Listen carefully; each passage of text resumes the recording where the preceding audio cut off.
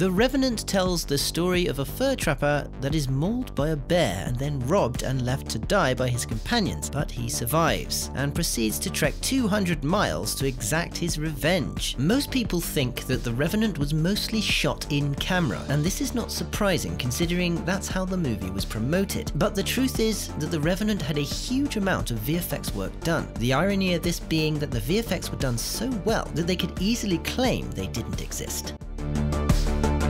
Industrial Light and Magic and Gradient Effects were lead VFX houses on this film, with MPC and Cinesite stitching shots together and providing the battle scenes at the start and the end of the film.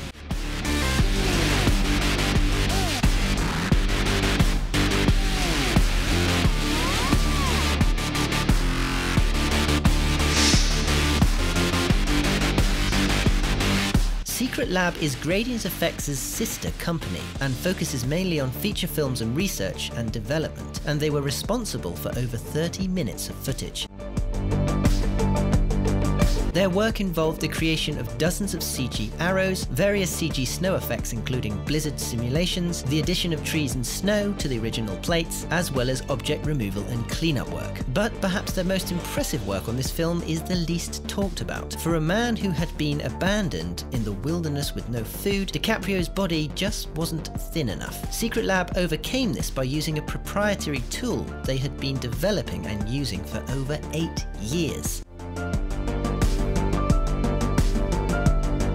This tool is called Shapeshifter and was originally used in the films Cloud Atlas and The Host for changing eye colours by tracking the eye and adding a 3D iris. But it has since evolved. The tool is now capable of analysing the motion of a face or body part, how it moves and stretches, to create metadata in 3D, basically creating a motion capture using the actual source camera footage. Artists can then access this in Maya, adjust and reshape one frame, and it recalculates back using the footage and and reshapes the body part. Any change made to that frame will be inherent throughout the whole shot.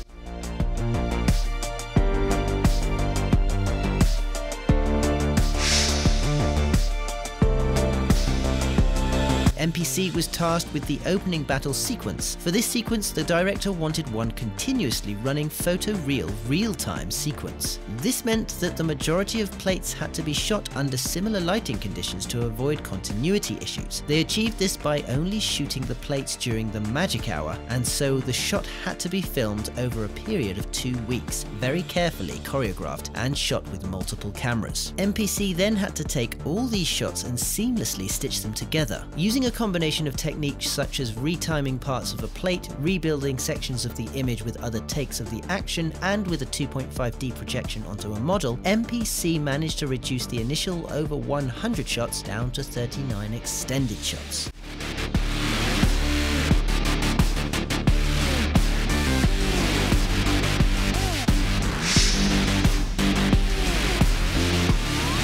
Industrial Light and Magic did a huge amount of CG animals.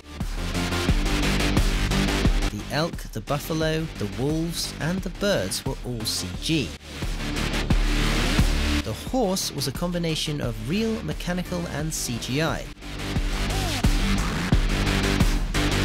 Bear and the cubs were all 100% CG too. In order to ensure the lighting of the CG animals was correct, animals were brought in on set and used as a lighting reference. And when shooting the scenes where the CG animals would appear, they shot lots of environment spheres, plates of skies, in addition to standard grey and mirror balls. The bear fight scene was perhaps the most complicated scene in the film. Industrial Light and Magic were working on this scene with the idea that it had to be continuous, up close, and messy. Using a video they found online of a bear attacking a drunken man in a German zoo for reference,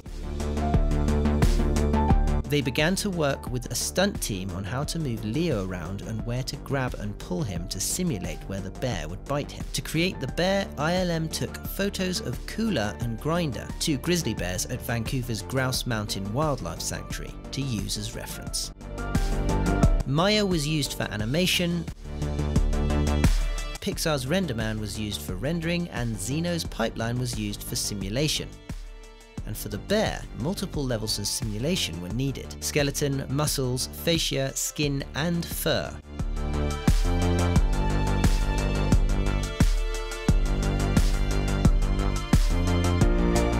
And the fur was the biggest challenge. How wet would it be? How matted? How much debris caught in it? How much blood? And how the light would react to it. All with subtle details and nuances that had to be added.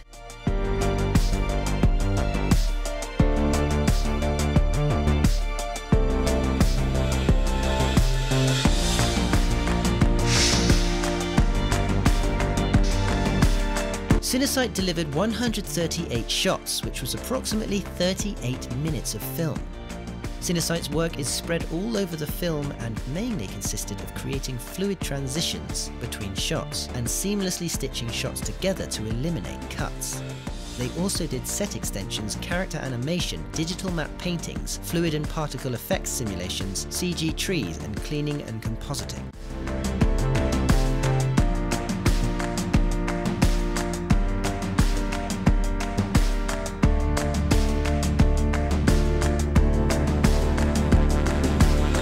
One continuous sequence they did do was the end battle, which was about 50 shots and was split between their Montreal team and their London team. The Montreal team concentrated on set extensions, sky replacements, complex stitches, and snow additions, which were necessary throughout the scene because it had been filmed on various days with different light and weather conditions. The London team had to take the multiple takes from the scene and stitch them together so the audience could follow the fighters seamlessly, in addition to adding snow animation and the CG knife and the axe. The London team created three different variants of the knife, one rusty, one clean, and one snowy and blood covered, and transitioned between them as the fight progressed. Please give us a like if you enjoyed this video, don't forget the links to the music used in this video are in the video description, and be sure to let us know as always in the comments which movie VFX you'd like to see behind next.